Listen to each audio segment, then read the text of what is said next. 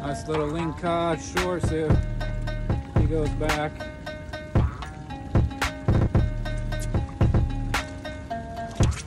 Fun to catch. Here's what I'm using. Crippled herring. Any color works. 40 pound mono, two foot leader, 30 pound swivel Rosco, 5 stock hook, single barbless, running a Shimano 5000, 40 pound braid, Power Pro, Shimano Trevala.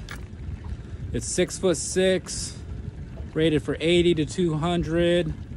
Its power is heavy, action is medium fast. You want a real stiff rod so when you hit bottom, you can rip it off when you get snagged up. And also you want a short rod you want to be able to maintain control of your jig the whole time. You don't want to jig like you do for salmon.